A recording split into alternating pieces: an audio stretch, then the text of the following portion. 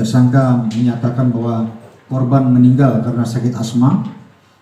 pada saat bersamaan dengan pelaku di apartemen Green Pramuka City, Jakarta Timur.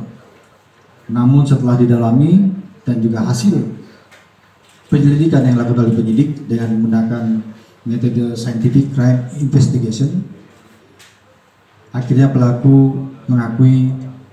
sebagai orang yang membunuh korban